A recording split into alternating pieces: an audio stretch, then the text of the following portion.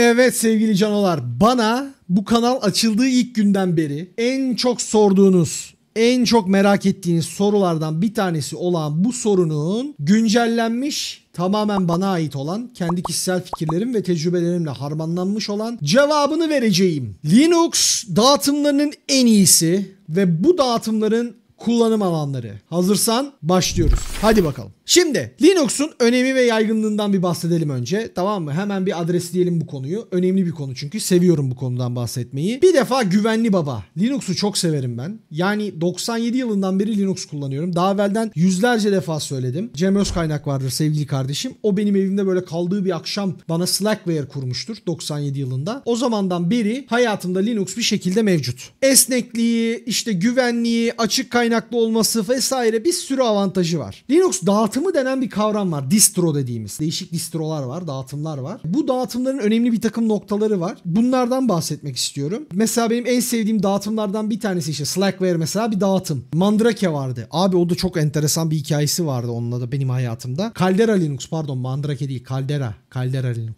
Download etmek yerine CD sipariş etmişim yanlışlıkla web sitesinden. Yıl 2001. Pardon yıl 2000. Hatta evet 99 mu? 99 veya 2000 ikisinden biri. Abi bunlar da bana göndermişler. Göndermişler eyvallah da. Tabi o zamanlar tracking breaking hiçbir şey yok. Kargo tracking falan filan. Abi gönderdikleri mal gümrüğe takılmış. Gümrükte de bizim babamın 35-40 senelik daha bile fazla belki 50 senelik arkadaşı 45 senelik falan arkadaşı olması lazım. Ziya amca var. Ziya abinin adamı gümrükçü kendisi. Onun adamı fark ediyor değer diye soyadını görünce aa Ali Rıza abinin olduğunu şey Ali Rıza abiye şey var diyor gümrük var diyor. Nasıl yani falan filan. Babamı arıyorlar. Babam diyor ki yok öyle bir şey falan. Dur bakalım alalım canındır o muhtemelen falan filan diyorlar. Abi alıyor Ziya amca beni bir aradı bir gün. Bir de böyle çok tok sesi vardır. Sen dedi internetten sipariş mi verdin dedi. Anam dedim yandık. Bittik. E, e, e, Ziya bir, bir, bir şey vermedim ben falan filan. Vermişin vermişin dedi. Vallahi hatırlamıyorum abi. Burada bir mal var dedi. Bunu dedi akşam evden gel al. Oğlum şimdi düşünüyorum unutmuşum gitmiş aradan aylar geçmiş. Ben nereden hatırlayayım hatırlamıyorum da hiçbir şey. Cık.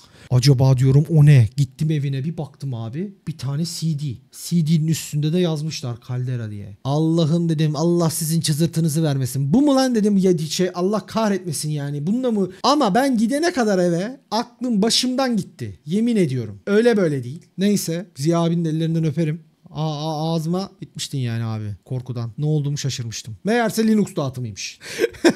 Eskiden biz mektupla haberleşiyorduk Linux'la canlarım yani. Öyle öyle bir durumdaydık tamam mı? Neyse. Açık kaynaklı olması dedik. Ücretsiz. Büyük çoğunluğu %99'u bildiğim kadarıyla ücretsiz. Ücretliler var tabii ki de ama bu ücretsiz. Özellikle ben bugün ücretsiz olanlarından bahsedeceğim. Güvenli ve stabil koyuyorsun çalışıyor. Eskiden çok fazla driver problemi vardı. Allah'ım çok dertliydi. Yani Linux'u kullanmak da kurmak da büyük büyük problemdi arkadaşlar. Bugün hiç öyle değil. Hatta hiç öyle olmaması için özel Linux dağıtımları falan var. Ve çok fazla support var ya. Eskiden biz döküman makale bulana kadar gobeğimiz çatlıyordu. Şimdi fıtı fıtı her yerde her şey var. Her türlü mevcut yani. O yüzden bütün bunların ışığında en sevdiğimiz, en güzel olan, en beğendiğim Linux distrolarını, dağıtımlarını sizlere anlatıyorum abi. Bir numara sizce ne olabilir? Aynen öyle. Ubuntu kesinlikle. Abi neden? Kullanıcı dostu, GNOME arayüzü, bir sürü destek var. Herkes biliyor GNOMe'u. Server'ını ayrı kuruyorsun, desktop'ını ayrı kuruyorsun. Hiçbir sıkıntı yok. Bir şey çalıştın mı çalışıyor. Hayatımıza kattığı en güzel özelliklerden bir tanesi paket management yani paket yönetim desteğinin çok yaygınlaşması. Abi eskiden yani bu Ubuntu'dan Debian'ın ilk zamanlarından önceden bahsediyorum. Çok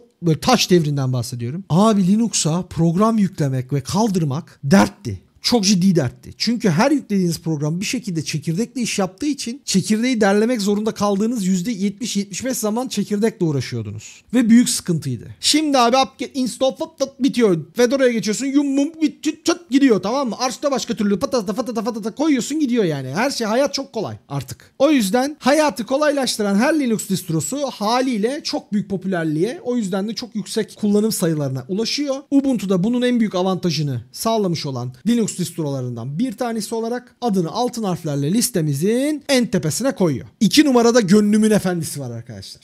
Ben Ubuntu sevmem, kullanmam. Neden diyeceksiniz? GNOME çok seven bir adam değilim. Ha diyeceksin ki başka bir tane desktop manager kullan. Yo haklısın ama Ubuntu'yu kullanmıyorum. Sevmiyorum. Ben öyle bir, özel bir sebebi yok yani. Baştan beri popüler alerjim var benim. Ben popüler bir şey çok popüler olunca sevmiyorum abi. O yüzden böyle uzak duruyorum. İki numara benim gönlümün efendisi. Aslında o da Ubuntu'nun yandan yemiş Ubuntu'nun tamam mı? Linux Mint abi. Son derece kullanıcı dostu. Mint'e yüklersin bir şeyi. Babalar gibi çalışır. Koyarsın gider. Hiç kafanı ağrıtmaz. Mate X, XFCE vardır. Çok severim desktop olarak. Çok hafiftir. Hızlıdır. Mate'i de çok severim. Cinnamon'u da çok seviyorum da yani yine de Mate ve XFC'ye para biri daha daha önceliğimdir. Gerçi KDE'yi daha çok seviyorum da olsun. Yani XFC'yi severim. Eski ve uyduruk bilgisayarlarda çok güzel çalışır. Mesela bana şey geliyor. Abi bilgisayarım çok eski. Yazılım öğrenmek istiyorum. Python öğrenmek istiyorum. Python yapacağım. Python tutacağım. Ne kullanacağım? Mint kullanacaksın. Bu kadar. At abi Windows'u. Kur Mint'ini.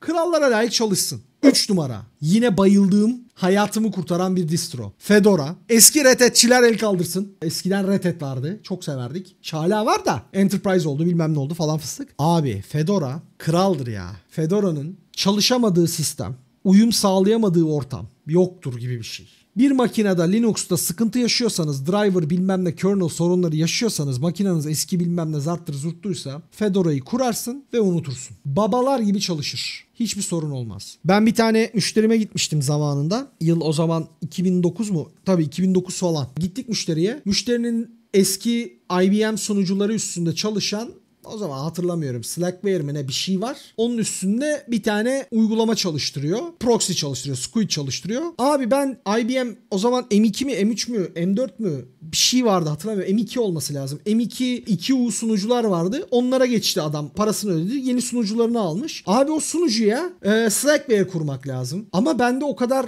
hani Linux bilgisi yok o dönem. Hiç o kadar şey değilim yani. Sunucuya kurup da onun istediği şeyi yaptıracak kadar mesela kernel'la bilgi yok o zamanlar. Ulan dedim ben deniyorum deniyorum bir türlü makine açılmıyor, bağlanmıyor. Bir, hiçbir şey çalışmıyor. Hiçbir şeyini, hiçbir driver'ını görmüyor. Üreticinin web sitesinde driver'ları yok. Hiçbir şey yapamıyorum. Sıfırdan şey yapacağım. Abi dedim ya canım sıkıldı. Ben de çok, o zamanlar ağır Fedora hastasıyım. Dedim ben buna bir Fedora kurayım. Ha, babalar gibi çalıştırırım ben bunu Fedora'da. Abi Fedora'yı kurdum. 3 saat sonra bütün Squid istediğim gibi her şey çalışıyordu. Hiç başım ağrımadı. O yüzden her zaman sıkıştığım yerde hep Fedora'ya dönerim. Severiz. 4 numaramız Debian. Debian kraldır. Debian babadır. Eskiden beri vardır. Her zaman çalışır. Hiç üzmez. Ya biraz allengiriklidir, gallengiriklidir. Adamı şey yapar, uğraştırır bazen ama üzmez yani. Genel hatlarıyla çalışır. Arch Linux 5 numara. I use Arch by the way. Kullanıcılarının kullandığını her ortamda belirttikleri crossfitçilerle aynı kefeye koyduğum, veganlar ve crossfitçiler gibi değerlendirdiğim ama yine de kendilerini çok sevdiğim Arch Linux, Arch Linux, Arch Linux. 6 numara. Aa, bu Fedora'nın yandan yemişi sunucu versiyonu CentOS. Bir ara kapandı mapandı bitiyor bu proje kapanıyor bilmem ne falan filan demişlerdi. Ne oldu bilmiyorum ama kapattılar galiba. Ama en büyük özelliği şey Red Hat Enterprise Linux için üretilmiş olan herhangi bir software'i Enterprise software'i CentOS'ta çalıştırabiliyorduk abi. O çok güzel bir özellikti. OpenSUSE. Türk milletinin Linux'la tanıştığı muhteşem dağıtım. Yanlış hatırlamıyorsam hatırlıyorsam düzeltin yorumlarda. Chip veya PC World dergisi 90'lı yılların ortalarında sonlarına doğru ilk Linux dağıtımlarını 97-98 olması lazım. SUSE dağıtarak yaptı. Yanlış hatırlamıyorsam Chip dergisiydi. Çünkü SUSE Alman yapımı, Chip Alman yapımı dergi. O yüzden milliyetçi bir çabayla SUSE'yi de getirmişlerdi Türkiye'ye diye hatırlıyorum. Yanlış hatırlıyorsam düzeltin canolar. Ama birçok insan Linux'la o sayede tanıştı. Çok faydasını gördüler. O yüzden KDE işte Yast kullanması Yet Another Software şeyi dedi mi? Hatırlayamadım. Siz söyleyin bana. Yast var da açılımı neydi Yast'ın? Yet Another bir şeydi de unuttum. Software'di galiba. Neyse. Paket yöneticisi yaz dediğimiz yani yönetim aracı. Ondan sonra rolling release'i çok güzel. Yani sürekli up to date. Güncel günlük olarak güncelleyebiliyorsunuz. O güzel. 8 numara Elementary OS. Ya macOS'a çok benzediği için Elementary'yi koydum buraya. Gerçekten güzel. Özellikle yeni Linux'la tanışacak ve Mac çok seven insanlar için çok başarılı. Ama bundan daha güzel iki tane daha var. Hemen onları da yanına belirteyim. 9 numarada PopOS. Abi PopOS ismi çok komik olmakla beraber GNOME tabanlı. Oyun multimedya yapacaksan PopOS yapacaksın ya. Acayip temiz bir Linux bu. Her şeyde çalışır. Tam bir evde desktop Linux'u. Evinde kur, fıtır fıtır fıtır fıtır incele. Çok harika bir işletim sistemi. 10 numara bunu ben çok kendim kullanmadım ama Reddit'te olsun, gerek DistroWatch'ta olsun acayip derecede popülerliğini arttıran ve insanların çok ile sürekli söz ettiği bir şey var dağıtım var sırada. Zorin OS. Abi özellikle Windows'tan yeni geçiyorsanız inanılmaz faydası, inanılmaz kolaylığı varmış. O yüzden de tavsiye ediliyor. O yüzden de aldım bunu 10 numaraya koydum. Aslında videoyu 9 taneyle çekecektim. Öyle bilginiz olsun. Peki son ve en önemli soru şu. Ha, bu 10 tanenin içerisinden diyelim. Yani işte siber güvenlik tarafında da zaten bir Parrot var. Bir de Kali var. Yani Kali'yi daha çok tercih ediyoruz. Çünkü Kali daha çok desteğe sahip. Hani Parrot çok güzel. Ben Parrot kullanmak isterim. Ama bir problemle karşılaştığın zaman Kali'yi de problemin çözümünü bulman daha kolay. Ha ben kendim kullanacağım zaman daha ziyade şey yapıyorum. Mint kurup üstüne tool'larımı kuruyorum abi. Hani kendin nasıl yapıyorsun dersen öyle yapıyorum. Veya işte atıyorum Windows üzerine VSL kuruyorum. Windows Sublist System Linux kuruyorum. Onun üstüne tool'larımı kuruyorum. Pentest'te çok uzun yıllardır yapmıyorum ama hani ihtiyaç olan Linux tool'larım için onu kullanıyorum. Mac tarafında yani uzun yıllardır Mac'teyim zaten. 2 iki, buçuk seneye yaklaştık. Mac tarafında da zaten Homebrew'u çakıyorum abi. Tool'u yüklüyorum geçiyorum. Hiç Linux'la falan uğraşmıyorum. Linux'luk bir durumum kalmadı. Siz neye göre seçim yapacaksınız peki? En önemli soru bu. Neye göre seçeceksiniz? Hangi dağıtımı seçeceksiniz? Abi az önce söylediğim Hintler aslında arada söylediğim özel ipuçları var. Bunları değerlendirebilirsiniz bence en önemlisi. En, en, en faydalı olanı. Onun dışında ya ihtiyaçlarınızı siz belirleyeceksiniz. Ne için size lazım? Nasıl bir sistemde çalışacaksınız? Neye ihtiyacınız var? Ona göre bakın. Eğer eski bir sistem kullanıyorsanız başka bir tanesini. İşte daha yeni bir sistem kullanıyorsanız başka sunucularla çok çalışacaksanız diğerini. İşte efendime söyleyeyim daha görsellik ve multimedya önemliyse başka bir tanesini vesaire diye seçimlerinizi ona göre yapın. Önemli olan kendi deneyimleriniz. En sevdiğiniz Linux dağıtımlarında yorumlara yazın dostlar. Onun dışında ne yapabilirsiniz? Bizi takip edebilirsiniz. Insta'dan ekleyebilirsiniz. Discord'a gelebilirsiniz. Hepinizi çok seviyorum. Benden bugünlük bu kadar. Allah'a emanet olun. Can kaçar. Hadi eyvallah. Abone olun oğlum.